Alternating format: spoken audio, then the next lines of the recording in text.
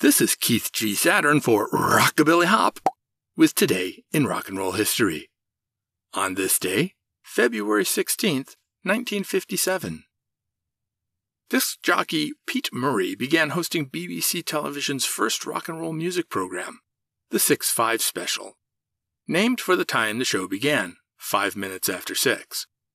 The show was given airtime immediately after the abolition of what was called the Toddler's Truce which had seen television stop between 6 and 7 p.m. so children could be put to bed. For more rock and roll history, like, share, comment, follow, and subscribe.